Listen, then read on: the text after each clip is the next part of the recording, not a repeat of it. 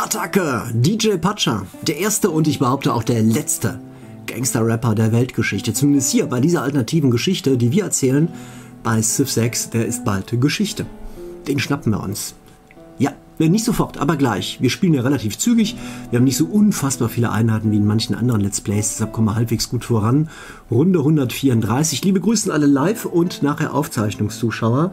Erster Stream im Juni den wir schon haben und wir kommen vergleichbar schnell voran, weil wir halt auch so viele Streams haben und deshalb so viele Videos, die daraus entstehen. In vier Runden Musketiere da, jede Menge Schwertkämpfer da, Regierungskarte drin, Gold wird gespart bei Einheitenverbesserung. Einheiten werden schneller produziert. Hier ist der Thron des Kriegsherrn drin, hilft uns beim Erobern und das zu nutzen. Armbrustschützen entstehen ohne Ressourcen. Salpeter sammeln wir, nicht viel, nur zwei pro Runde immerhin. Und einen schicken, einen haben wir eine Mine verloren, leider, sonst wären es deren vier Salpeter pro Runde. Und wir nutzen ansonsten die Ich kann billiger upgraden Karte. Haben wir genutzt und nutzen wir vielleicht noch ein bisschen. Mal gucken, ob es noch geht, um aus Kriegern Schwertkämpfer zu machen und gleich um Musketiere zu gewinnen. Und wir nutzen diesen Wettbewerb Besänftigung der Götter. Zwei Seher haben wir. Wir liegen vorne, schaut mal. Wir liegen vorne, erster Platz. Niemand hat so blutrünstig, so entschlossen und so skrupellos seine eigenen Leute geopfert wie wir. Niemand. Niemand macht das sonst. Also, Glücksschweine, Belagerungsturm. Oi, sehr gut, den brauchen wir und ich weiß wofür wir den brauchen. Da geht er hin. Da geht's hin.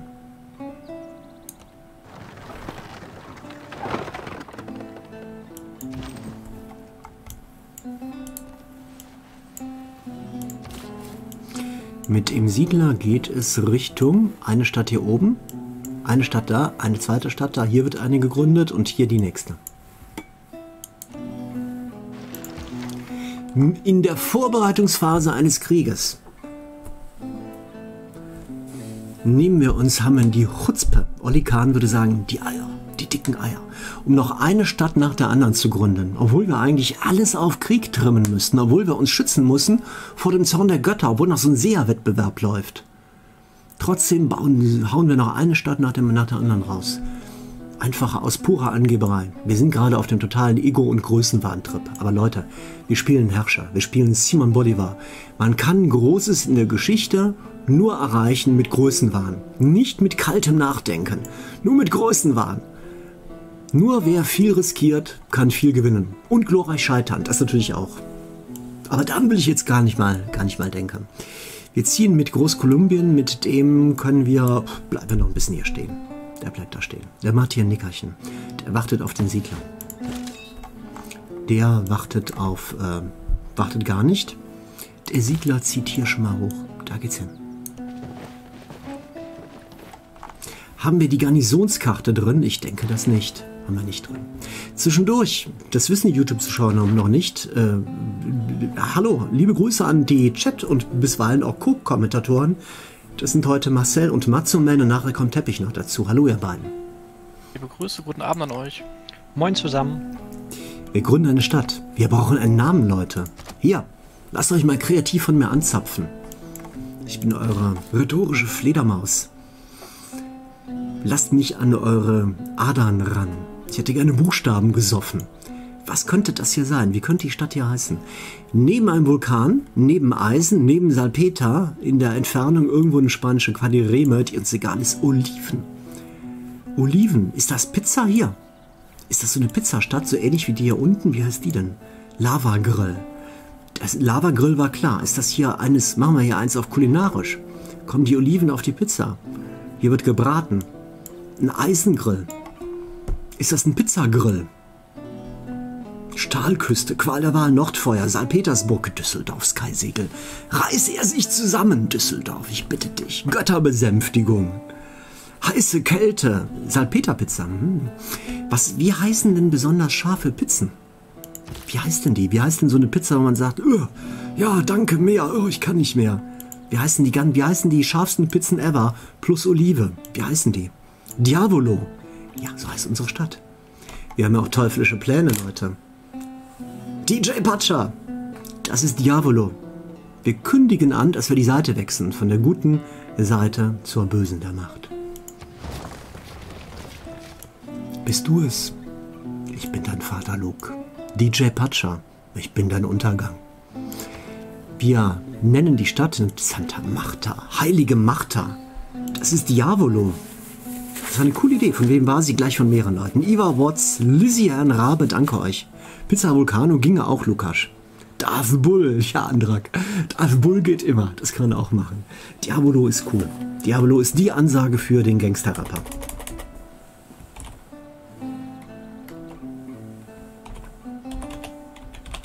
Einmal Diavolo. Ach komm, Leute. Da habe ich aus Versehen die Shift-Taste drin. Einmal Diavolo. Ich hoffe sehr, das äh, ist hier kein schlechtes Omen. Das kann ja auch heißen, dass es den Bürgern hier in Diavolo teuflisch mies ergeht. Direkt um die Ecke ein Vulkan. Da braucht man einen skrupellosen Herrscher. Der sagt, hört mal, da vorne ist ein Vulkan, der spuckt die ganze Zeit Feuer und Flamme. Wir brauchen nur dringend das Eisen, deshalb Peter, siegelt euch dahin, nehmt alles mit, was ihr habt. Mann, Weib, Kind und Kegel, Testament, alles, was griffbereit ist. Zieht dahin und gründet da eine Stadt. Wird schon gut gehen und wenn nicht, danke für eure treuen Dienste. Das ist unser Simon Bolivar. Wer redet ihm solche Dinge ein, also Himmelfahrtskommandos für Zivilisten? Ist das womöglich sein greiser, bisweilen noch weiser Berater? Ich weiß es nicht. Ja, es ist so. Es ist so. Diabolo. Nee, das war jemand aus dem Chat. Ich weiß gar nicht mehr wer. Irgendjemand hatte gestern im, beim Stream im Chat gesagt, WB, dahin bitte. Ich bin nur ausführendes Organ des Chats. Wenn alles gut läuft, alle Pläne, Original WB, Met bei WB, wenn was schief geht, ihr seid schuld. Klare Ansage. Diabolo. Wir könnten jetzt natürlich das machen, was wir sonst machen. Monumente kaufen. USW machen wir alles nicht. Wir sparen Geld für den Krieg. Wir müssen gleich Schwertkämpfer zu Musketieren machen. Geht nicht. Vielleicht nur Einheiten kaufen, um sie zu opfern. Machen wir nicht mehr. Wir bauen. Wir bauen das Monument. Schaut mal, wie produktiv es hier ist. Schaut euch das mal an. Drei Nahrung. Vier Produktion. Ein Wissenschaftspunkt. Ohne Modernisierung. Ohne nichts. Das ist ein Bürger. Sind wir es denn des Teufels, hier zu siedeln? Beste Stadt ever. Habt ihr schon mal einen so coolen Standort gehabt? Zum Start? Bis zu welchem Ring spuckt ein Vulkan? Schnurlober, äh, leider im Apokalypse-Modus. Er spuckt bis in die letzte Reihe. Er spuckt bis in den Chat. Er spuckt über Ring 3 hinaus, bis in den Chat rein. Er hilft auch keine Regenschirme, ich sag's ganz offen. Wir bauen ein Monument ein Monument hier hin, einmal raus. Gouverneurstitel. Wir brauchen einen Gouverneurstitel. Hatten wir Pläne geschmiedet oder hatten wir gesagt, wir brauchen so viele wie es geht, weil wir gleich Loyalitätsdruck haben? Ich glaube, wir hatten bislang, wir sind ja Politiker, wir denken nicht auf lange Sicht, sondern auf kurze. Ähm, wir hatten immer nur gedacht, wir hatten immer nur auf den nächsten geguckt. Der nächste war Viktor. Wir hatten über Viktor hinaus noch nicht geplant. Wir hatten uns natürlich Gedanken gemacht. Wir hatten gesagt, cool wäre zum Beispiel im Endkampf Liang zu haben, denn Liang bringt uns verstärktes Material. Wenn man nur eine Stadt hat, ganz am Ende im Apokalypse-Modus, die nicht leiden kann in, an der Apokalypse, dann haben wir schon was richtig gemacht, dann ist alles gut. Deshalb könnten wir sagen, wir fangen jetzt schon an, nachhaltig für die Zukunft zu denken und holen uns jetzt schon Liang. Oder wir sagen, Nö, das machen wir. Wisst ihr, warum wir das machen? Das machen wir allein schon deshalb, weil wir die ja auch brauchen für die alternative Strategie. Und die heißt, in die Breite gehen und uns viele Gouverneurstitel zu holen, weil wir ja viel, viele Gouverneure für viele Städte haben, die gleich im Kampf, im Kulturkampf mit DJ Pacha Probleme haben, die Loyalität in den Städten zu behalten. Deshalb brauchen wir so viele Gouverneure wie geht. Jeder Gouverneur vor Ort bringt sofort und auch jede Gouverneurin plus acht Loyalität auch wenn sie noch gar nicht angekommen ist. Das heißt, wir sollten jetzt Liang holen, deshalb weil Masse und auch Klasse für die Zukunft. So denke ich mir das. Matsuman, Marcel, Chat, wie seht ihr das?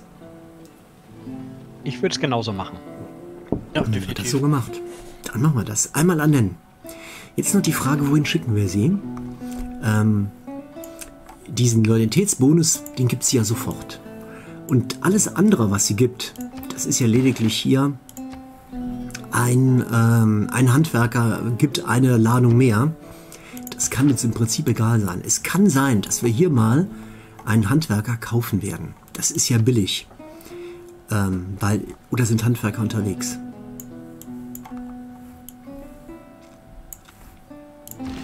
Ein Handwerker mit einer Ladung, der bleibt da eigentlich. Ja, es kann sein, dass wir hier einbauen werden. Hier oder woanders. Also ein, sie irgendwo hier zu haben, damit ein Handwerker eine Modernisierung mehr hat, könnte Sinn machen, wenn wir den Handwerker eben in fünf oder sechs Runden kaufen. Aber sobald der Krieg ausbricht, spätestens dann brauchen wir sie eigentlich hier vor Ort. Das heißt, wir müssen dann vor den Handwerker drüber, drüben kaufen und dann ja hin. Wir können alternativ auch sagen, wir fangen jetzt schon mal an, Glücksschweine zu unterstützen. Denn Glücksschweine hat ein Loyalitätsproblem. 3-2. Jede Runde weniger. Jetzt kannst du sagen, es ist egal, wenn Macho gefallen ist. Die Stadt fällt ja erst. Macht sich ja erst unabhängig und rebelliert, wenn wir auf Null sind. Aber, aber, aber, aber. Damit sagt ja auch, sagt, machen sich ja auch noch andere Dinge machen sich bemerkbar. Schaut mal hier unten. Ab wann greift das nochmal, dass man Mali bekommt? Durch die Loyalität. Es müsste hier irgendwo auch doch einge... Oder kommen die noch? Loyalität 83,6. Noch loyal, noch keine nachteiligen Effekte. Ab wann sackt das ab? Weißt du das auswendig, Matsuman? Ab wann wir die Mali bekommen? Auch nicht, ne? Ich dachte, die kämen sofort. Ich meine, ab 75% gibt es die ersten Mali. Ab 75 Pluspunkte. Jetzt sind wir bei 83. Das wären schon in drei Runden.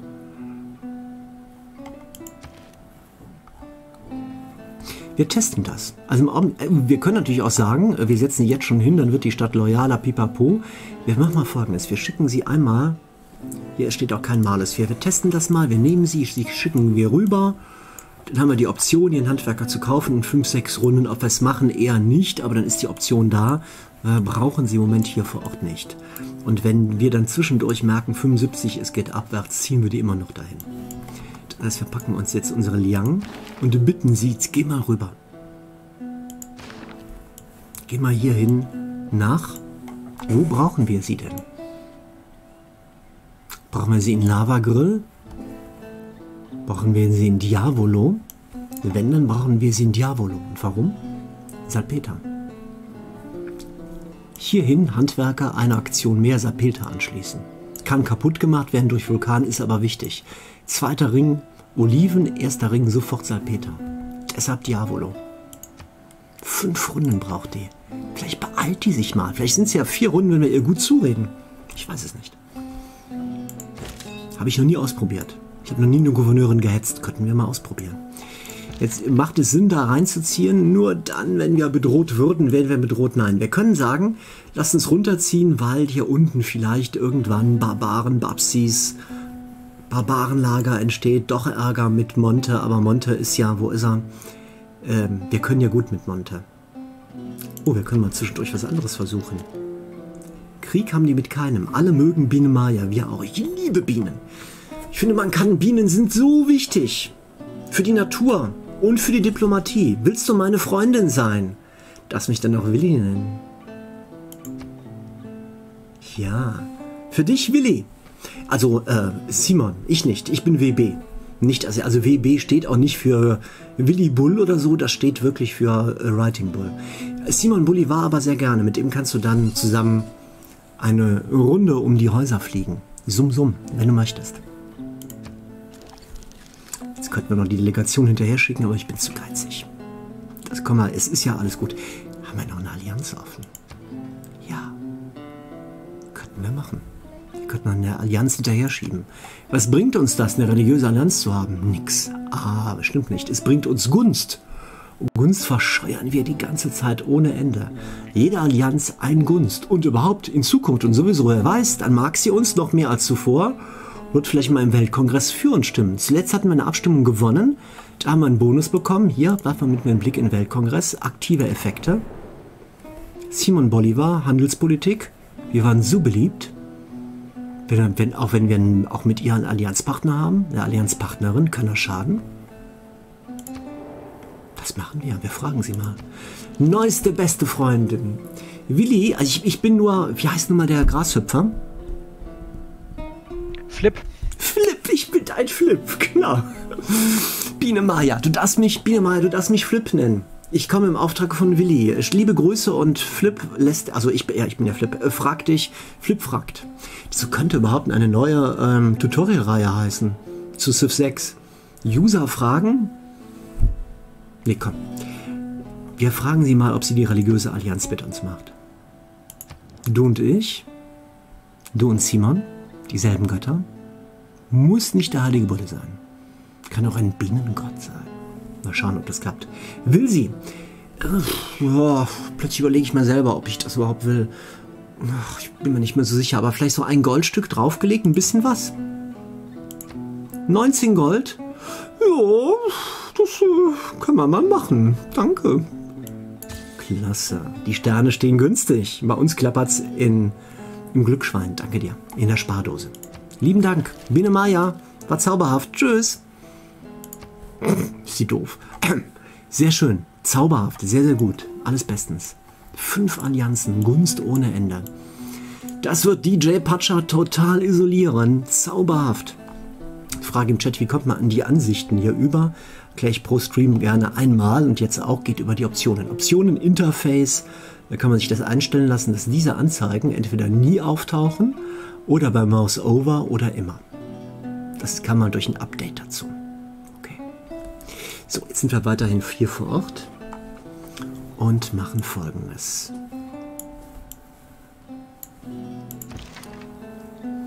Wir müssen nicht vor Ort sein. Ähm, wir hatten ja eben diskutiert, wo braucht man unser Militär. Wir haben ja hier so einen popligen Streitwagen, der eh nichts nutzt. Der hält ja, also falls ja Barbaren auftauchen, was furchtbar. Ich kann mir nicht vorstellen, dass hier irgendwie. Wen haben wir denn im, im Osten? Hier ist Philipp. Wird Philipp uns angreifen vom Osten? Wen haben wir ganz im Osten? Fusellini. Fusellini liebt uns. Stadtstaaten, nochmal Fusellini, der Brasilianer. Das ist, wir sind umzingelt von Best Buddies. Wer ist in Antananarivo und ist dort Suzerain oder so? Philipp. Wir lieben Philipp. Solange wir Großkolumbianer sind. Wären wir Cree, würde das anders aussehen rüber. Wir können jede Hilfe drüben gebrauchen. Ab ins Wasser. Ab ins Wasser und rüber. Komm. Das gilt auch für dich, mein Lieber. Einmal rüber, bitte. Und der große General? Der liebe Teppich ist gerade zu uns gestoßen. Hi, Teppich. Hallo, Oliver. Ich würde dann die Chance nutzen und mich verabschieden. Danke, dass du dabei warst, Marcel. Bis später. Oliver ist dazugekommen, einer der Community-Moderatoren, der auch jeden Freitag mit im Civ-Stammtisch ist bei civilization.writingbull.de oder auch bei community.writingbull.de, aber man kommt über civilization.writingbull.de schneller dorthin und dort eine MP-Runde organisiert und ihr kennt ihn schon seit Jahren, ist er immer viel aktiv. Hier und hier, General, alles Richtung Westen, hier rüber. Mit dem, also eine Einheit im Osten haben, ist nicht schlecht. Äh, aber wo? Ja, dann hier unten. Also wenn Barbarencamps entstehen, vielleicht am ehesten da. Andererseits, wir wollen ja auch, dass Siedler vielleicht nicht doch unbewacht und unbegleitet als äh, minderwertige Flüchtlinge, oder wie das heutzutage im Amtsdeutsch heißt, hier rumirren. Lieber rüber Siedler beschützen. Bei uns gibt es keine unbegleiteten Siedler. Gibt's nicht. Da ist der Amtsschimmel vor. Der wird zu laut dafür. Und was macht der Handwerker hier? Der ist am Scouten. Ach, ich erinnere mich. Erinnert ihr euch auch? Das ist der Chuck Norris unter den Handwerkern. Wobei einer von euch beim letzten Stream gesagt hat, das stimmt nicht, WB. Der hat zwar alleine die Welt erkundet und umrundet und hat für uns Zeitalterpunkte freigeschaltet oder, wie bei dem Handwerker zu Recht sagen kann, Zeitarbeiterpunkte. Aber wäre er wirklich der Chuck Norris unter den Handwerkern, der könnte sogar siedeln. Hat einer von euch gesagt, bester Gag ever hier. Fand ich sehr, sehr witzig. Wir gehen mit ihm weiter scouten. Mal gucken, was er hier noch findet. Rüber, andere Seite. Leider nicht. Leider nicht Golfer. Ich kann den nicht umbenennen. Hier sind wir, das, das wollen wir ja alles umbenennen und ich denke, äh, erkunden. Mit ihm ziehen wir Richtung Norden. Wir könnten auch Richtung Süden, wir können auch Richtung Norden, geht beides. Aber hier oben, wenn das die Hauptstadt ist, dann werden ja wahrscheinlich wenig Barbaren sein. Rund um die Hauptstadt sind wenig Barbaren können alles erkunden. Ich mache mal mit dem den Bereich hier unten und ziehe mit dem Handwerker gleich wieder Richtung rauf. Das heißt einmal nur hier hoch. Dann rund um die Stadt. Und das war's schon. So, Mariano Montilla ist hier.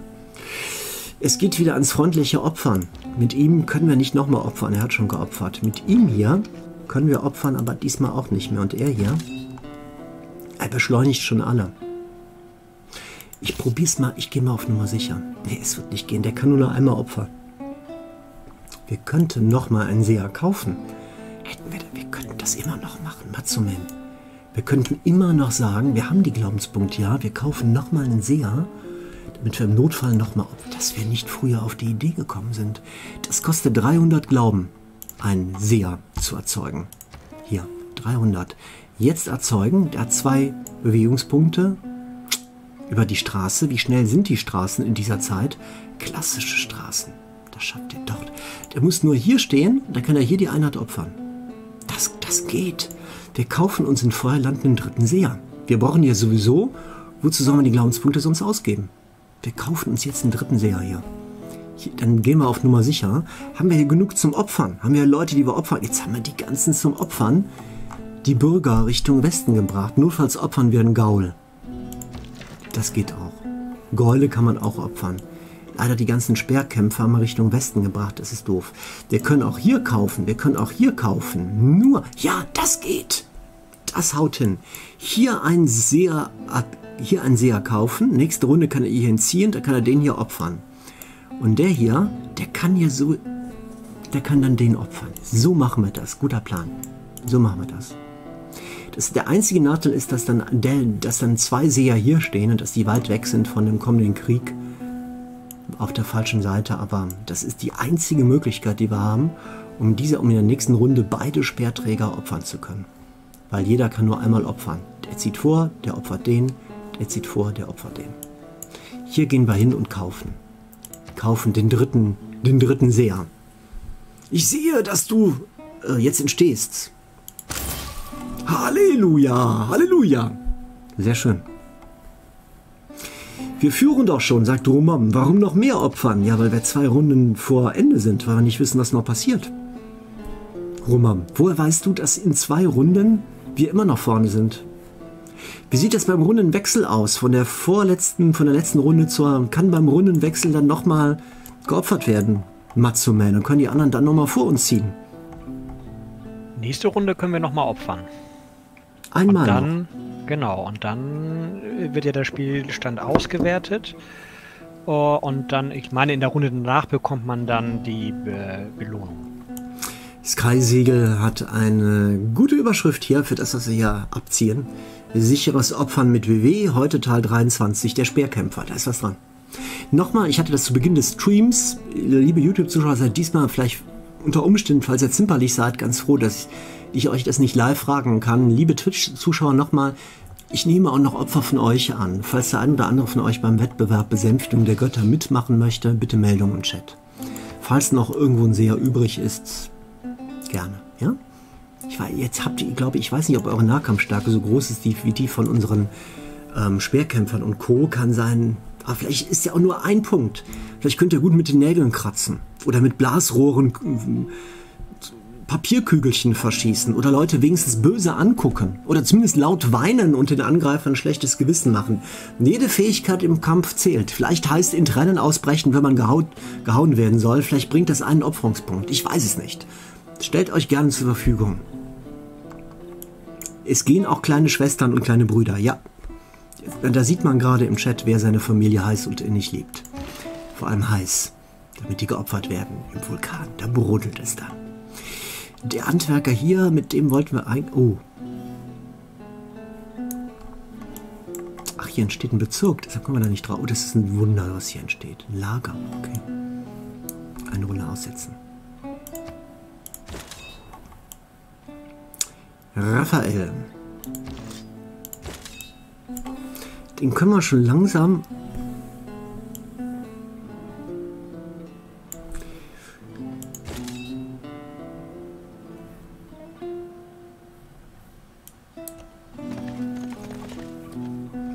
Der zieht hier hin. Der kann schon ein Feld zurückziehen, um sich nachher beamen zu lassen.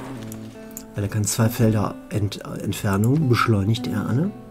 Eine Runde weiter. Haben wir irgendwas vergessen? Nein. Alles gut. Alles im Bau. Armbrustschützen. Alle Leute zum Opfern stehen Schlange. Ja. Alles weiter. Immer so weitermachen. Immer so weitermachen. Liebe Grüße an 600 Zuschauer. Ihr seid ja in der Apokalypse. Ich sag's ganz offen. Biene Meier, liebe Grüße. Hier ist Flip. Ein andermal gerne. Das ist meine Botschaft für dich. Ein andermal gerne. Ein andermal gerne, Monty. Jetzt gerade mal nicht. Wir können Gesandte schicken, Ei, weil oben die Gesandten durch sind. Wollen wir das? Wollen wir das machen? Wir sind im Augenblick nirgendwo zerrennen. Wir könnten. Wir könnten sagen, wir holen uns die Suzerännschaft in Brüssel zurück. Einer reicht. Ein Gesandter in Brüssel und wir sind wieder Suzerän. Einer reicht. Brüssel hat, glaube ich, immer noch Krieg mit den Inka.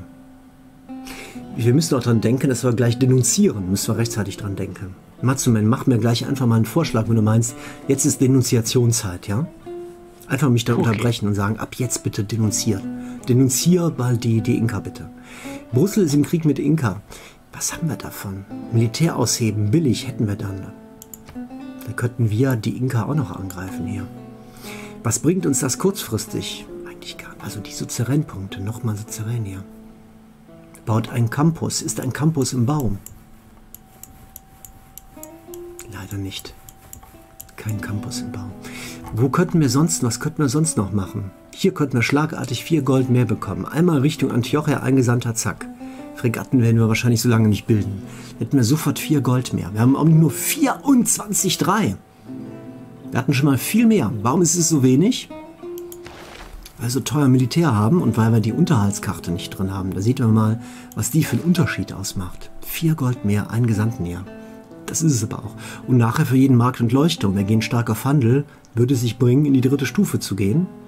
Noch mehr Sinn würde machen mit der Diplomatiekarte, die den ersten Gesandten verdoppelt, das zu machen.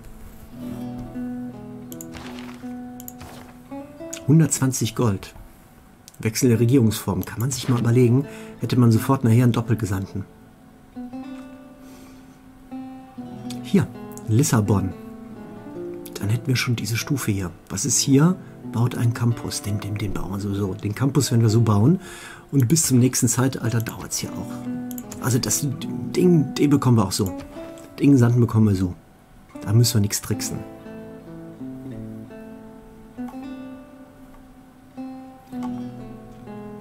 Ich würde sagen, entweder wir werden Suzerän in Brüssel, aber die haben ohnehin schon Krieg mit den Inka. Deshalb braucht man das eigentlich nicht und wir bekommen den Gesandten ohnehin über den Campus. Ich würde das machen, dass wir den zurückbehalten und dass wir in einer Runde Geld in die Hand nehmen und die Diplomatiekarte noch einmal wechseln. Das ein Gesandter doppelt zählt, auch wenn wir jedes Geldstück und Goldstück eigentlich brauchen würden, müssen halt ein bisschen Handel betreiben. Und dass wir dann den Gesandten verdoppeln.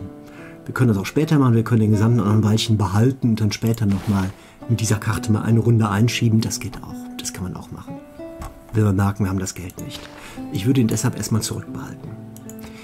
Hier Unabhängigkeit für Brasilia. Ei, das ist ja heftig. Das wird Fusellini nicht gefallen. Antananarivo und Lissabon haben Frieden. Vulkan wird aktiv. Kaum haben wir die Stadt dort gegründet. Schon wird der benachbarte Vulkan aktiv. Ei, das ist, äh, ja, konnte man sich denken. Den können wir gleich rüber beamen. Ich glaube, das machen wir jetzt schon. Den beamen wir, der kann ja nur helfen, hierhin nach Feuerland. Da ist zwar schon einer, aber das kann nicht schaden. Den beamen wir einmal rüber. Hierhin.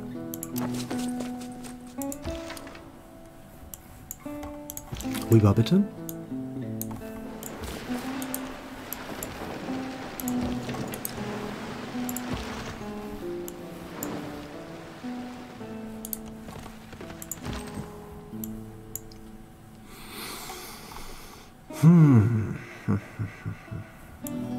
Wir schon auf den Krieg vorbereiten, allmählich. Armbrustschützen zweite Reihe.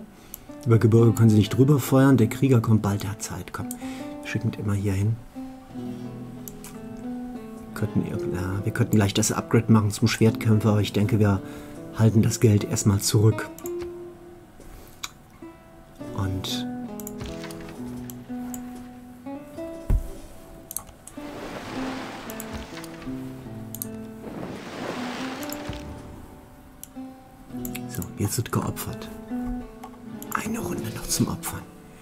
Wir können nochmal opfern. Einmal, zweimal, dreimal. Wollen wir dreimal opfern? Wir, sind auf Platz 1. Wie läuft das nochmal, Matsumen? Chat. Wie läuft es in der reinen Folge mit der, mit der Opferei? Wenn wir jetzt vorne liegen, könnte es dann passieren, dass zum runden Wechsel ein KI noch vor uns ist. Ich behaupte nein. Wisst ihr, warum ich das behaupte? Ich weiß es nicht. Ich behaupte es mal einfach so. Wir sind im Internet. Ich behaupte das. Wenn ich was behaupte, dann könnt ihr sagen, ich habe es im Internet gehört. Ich weiß das. Ich behaupte, das ist deshalb so, weil, und das habe ich im Internet gehört, weil wir oben in der Zugreihenfolge am Ende sind. Das heißt, in dieser Runde haben alle anderen schon vor uns gezogen. Das heißt, wir sind die Letzten. Das heißt, die können in dieser Runde nicht mehr vor uns kommen. Beim Rundenwechsel sollte entweder sofort das Ergebnis da sein, so wie es beim Weltkongress auch häufig ist, oder man kann dann nochmal. Ich vermute ersteres, ich weiß es nicht. Wie siehst du das, Matsuman? Ich bin mir da nicht hundertprozentig sicher, muss ich zugeben. Wir sind im aber, Internet, sag deine aber Meinung. Ich behaupte einfach mal, dass die. Ich behaupte das Gegenteil, um es ein bisschen spannender zu machen, lieber Daniel. Ich behaupte, die KI kann noch einmal opfern nach uns. Toll. Lieben Dank für deine Unterstützung. Was sagt der Chat? Kann passieren, schreibt Schinkenlauch. Antwortet auf irgendwas anderes. Teppich. Wie siehst du das? Ich glaube, das ist. Wir sind letzter in der Reihe. Sieht für mich auch so aus. Ja, Teppich unterstützt mich. Zwei gegen eins. Wir sind in einer Demokratie. Nicht hier im Spiel, aber im Real Life und deshalb irgendwie ja auch. Wahrheit wird bei uns in Deutschland und wir sind alle drei deutsche Staatsbürger. Matzenmann glaube ich auch und Teppich auch und ich auch. Hier in Deutschland, wenn wir zu Wahlen gehen, die Wahrheit wird durch Abstimmungen entschieden. Die Regierungen sagen nachher, es ist durch Mehrheitsentscheid entschieden, wir machen das und alle müssen das akzeptieren. Matzenmann, beugst du dich unserer Mehrheitsmeinung? Oder möchtest du ausgebürgert werden? Geh noch da drüben, wenn es dir hier nicht passt, mal zu nennen. Geh doch zu ich den bleib bei meiner Meinung. Ich bleib bei meiner Meinung. Wir sind die Ersten, die dran sind und ähm, ja, dann muss ich halt ausgebürgert werden. Dann geh doch zu deinen Alu-Spielern oder zu Transport Viva 2. Komm, weg mit ihm. Teppich, wir beide. Tschüss, Matze Genau, wenn zwei Lemminge abstimmen, dann, wenn zwei Lemminge abstimmen, dann haben wir auch recht. Ja, wir haben recht. Wir wissen das einfach. Wir sind im Internet, das stimmt. Wir haben beide jetzt richtig vermutet, denke ich mal. Wird so sein, bin mir ganz sicher.